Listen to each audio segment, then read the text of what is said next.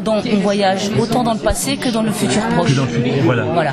Donc c'est pas vraiment un livre de science-fiction. Alors c'est de la science-fiction, si si c'est de la science-fiction. Euh, moi je me suis dit qu'hypothétiquement dans l'univers on n'était pas les seuls.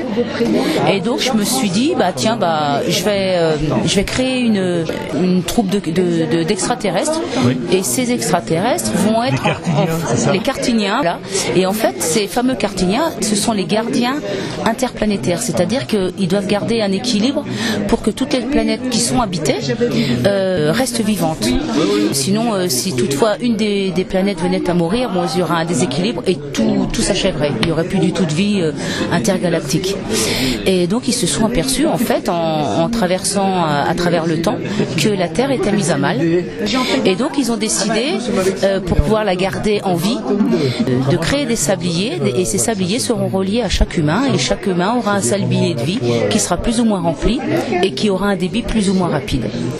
Euh, sauf que l'armée va s'apercevoir de, de- de choses bizarres et ils vont envoyer un contingent de forces spéciales pour aller enquêter, pour aller à la recherche de ces sabliers, pour aller euh, spolier du sable en fait, euh, parce que les sabliers qui sont les moins remplis appartiennent en fait à, aux, aux gouverneurs, aux dirigeants, aux énarques.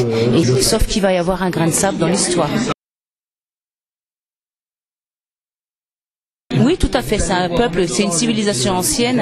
Le Mexicain, je crois. Oui, voilà, et qui était, qui existait déjà Avant les avant Incas, avant les Mayas, avant les Aztèques. Donc c'est vraiment une civilisation très primitive.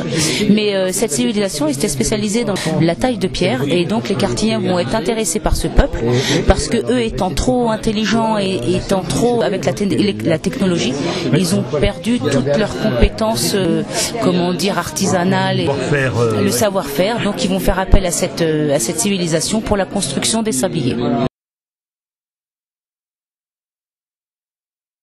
Alors le tome 2 est prévu, je suis en train de l'écrire d'ailleurs, euh, et ça va être la continuité de l'histoire bien évidemment, et ça va être basé surtout sur euh, la psychologie humaine et sur l'esprit de vengeance. Bah, disons que ce qui est bien dans la science-fiction, en fait, c'est qu'on peut partir sur des bases réelles. C'est pour ça que j'ai utilisé les Olmecs qui existaient. Tout au long de mon roman, c'est toujours sur de la base historique. Et autour de ça, on- euh, grâce à notre imaginaire, on brode notre histoire. Voilà, donc c'est basé sur des choses qui ont existé, qui sont réelles. Il y aura d'autres histoires. Je ne me suis pas encore penchée sur le sur le sujet, mais euh, mais voilà, j'attends, ça va ça va arriver.